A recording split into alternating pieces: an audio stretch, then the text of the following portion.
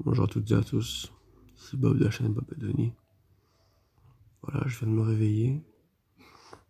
Il est 16h30 euh, à l'endroit où je suis. C'est-à-dire. Hmm.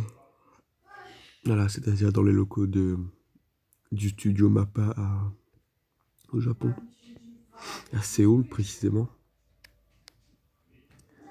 Notamment, bah, comme vous l'a dit euh, Denis, la chaîne Denis, je fais le doublage de d'un personnage de l'attaque des titans saison 4.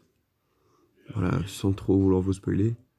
Je vais faire le doublage du, titan Cabo. Et euh, voilà, ça se passe bien pour l'instant. Euh, je dois rester un peu plus longtemps parce que je donne aussi des directives à, à Jimei Isayama. Parce qu'il sait pas trop écrire en fait de manga. Je lui ai conseillé sur la fin et tout. Voilà. Et donc là, euh, je viens de me réveiller, il est 4 heures. Je vais aller, euh, je vais aller manger de la moutarde.